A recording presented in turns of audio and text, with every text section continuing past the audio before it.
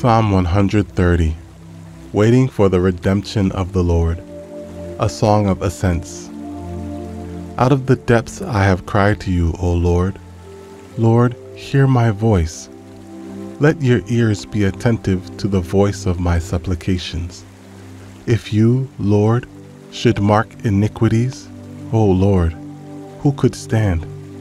But there is forgiveness with you, that you may be feared.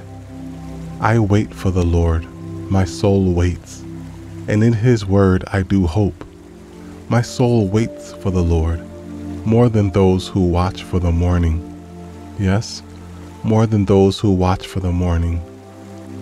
O Israel, hope in the Lord, for with the Lord there is mercy, and with him is abundant redemption, and he shall redeem Israel from all his iniquities.